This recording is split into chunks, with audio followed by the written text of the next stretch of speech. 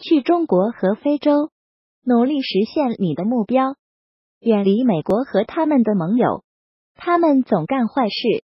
时间证明，这条中国建造的铁路线在非洲大地上是一个成功的故事。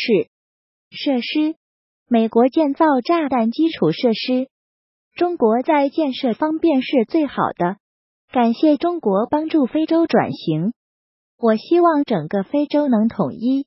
肯亚能偿还债务吗？